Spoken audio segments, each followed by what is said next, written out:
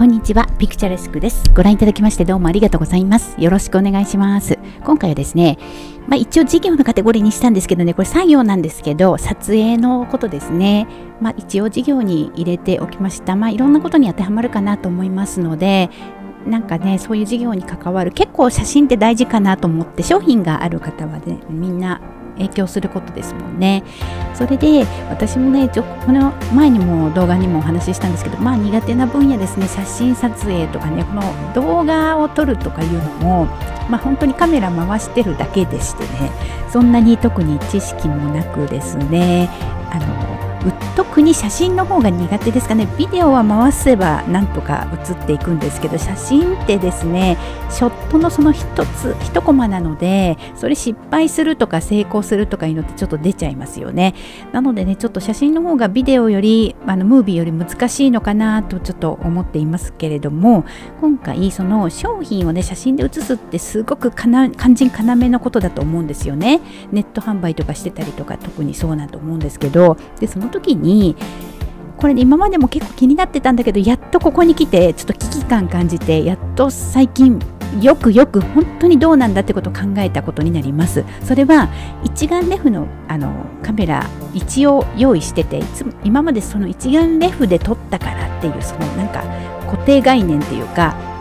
それで来たんですけど一眼レフの写真ってボケるんですよね結構ねぼやっと。まあそれがなんか雰囲気っていうかなんかもしかしてボケることで神秘的な感じに映るのかなっていうのもあるかと思うんですけど確かに私も宝石の場合神秘的に映っては欲しいわけですね。もともと神秘的なものなんですよね。なんだけれどもやっぱりね一眼レフで映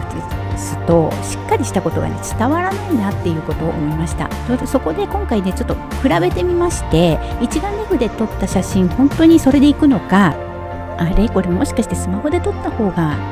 よくいい風に映るんじゃないかっていうのも思えてきましてね。あのスマホでたまたまちょっと写真写すことがあった時にすごくそう思うことが多かったんですよね。なので比べてみたんですね。ということであの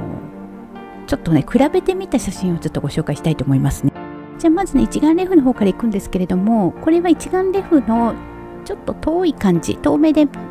まあややあのパッと撮った感じっていう感じなんですけどちょっとボケていますよね。なんかねこのボケが出てきちゃうんですね。で特にこのリングって真ん中のとこのダイヤモンドのとこがなんか魅力なのにそこがボケるんですよね。やっぱりあの光もあると思うんですけれどもダイヤモンドの。ダイヤモンドは映すの難しいことは難しいと確かに思うんですけれどもでもチェーンの方もボケてしまっていてで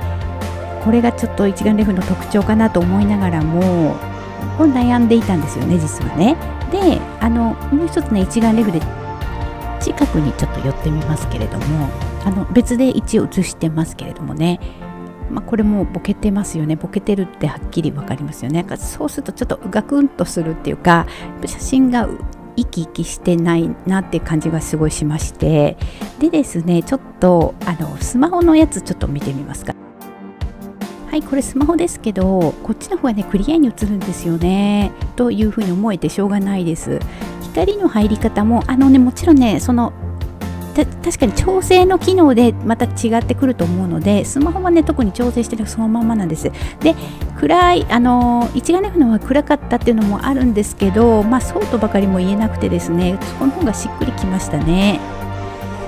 あの土台は黒じゃなくてこれベース最近変えたシルバー色なんですよね。なんかシルバー色のその良さがスマホの方が出る気がします。もしかして細かい画像ね解像度とかそういうのはもしかしたら一眼レフの方がもしかしたらっていうかいいのかもしれないですけどそうでもないことがあるのかなと撮影していて思ったんですよね。でねこれちょっと夜のバージョンもちょっと見てみますかね。光が入らないバージョン。はい。これ夜なのであのグレー色がちょっと濃いめに映るんですけど本来まこんな感じのグレーというかシルバー色ですね。こんな感じでシルバーがグレーって感じに映っていくと思うんですけどこの方がねものはねクリアに見える気がするんですよね。一眼レフに比べてこのもののねなんかしっかり映り方。で私はもともと一眼レフをあの購入する時に店員さんとの話し合いでね素材がしっかり映るものをこれがそういうのをちょっと基準にしてったんですけどそもそもその時はハンドメイドのバッグの生地の素材っていう感じだったことがそのままジュエリーにも引用してるからなのかこのジュエリーになるとまた違うんだということを見直さなきゃいけなかったのかもしれなくてで結論ですけれどもね。はい。デジあの一眼レフカメラで写すのをやめましてスマホにしました。宝石の透明感がこっちの方が綺麗に出ますね。もしかしたら一眼レフでも調整によってはある程度変わるかもしれないですけどここまでの透明感のある宝石の様子があのクリアに出てくるのはやっぱりね一眼レフではね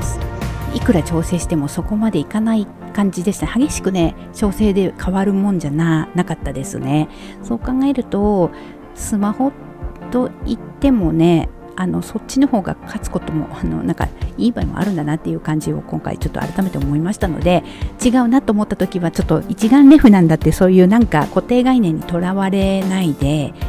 あの写りがいいなと思った方をちょっともう少し追求してみるっていうのが今回の例ですね。なのでスマホは名乗れないですね。結構あの役に立つなと思いました。ちょくちょくそれもこういうふうに気づけたのもちょくちょくスマホで写すこともあったからであって必ず一眼レフで写すもんだっていうじゃなくて時々こうスマホで写すことがあった時にやっぱ便利なんでねコンパクトなんでいちいち取り出さなくてもいいからちょっと急いでる時とかねスマホでやることがあったですよね。あのアップする載せる時は全部一眼レフにしてたんですけどあのそうじゃない時の写真の時なんかはスマホでっていう時に宝石写した時にちょっと違うなだいぶ違うなって思ったんですよね。でよくあの撮影って自然の光が入り込むっていうのが一番そのライトとかなんとかうんぬん使うよりはあの自然の光が一番取り込むのがいいんだっていう話はもうそれはその通りだと思いましてこの今のこの写真も日光がある程度入っている午前中からお昼正午までぐらいの間にかけて写したものになりますね。だから柔らかな感じの光が入っていてすごくあの明るいすごくいい意味でのなんかあの気持ちいい見方ができるのかなとは思います。で逆に真っ暗で神秘的な感じもあったりするんですけれどもやっぱりですねあのお客さんに見てもらうクリアな感じっていうのも大事でぼやけてしまったら何もならないなと思うと今回の一眼レフで何度撮ってもぼやけてしまう部分をスマホだと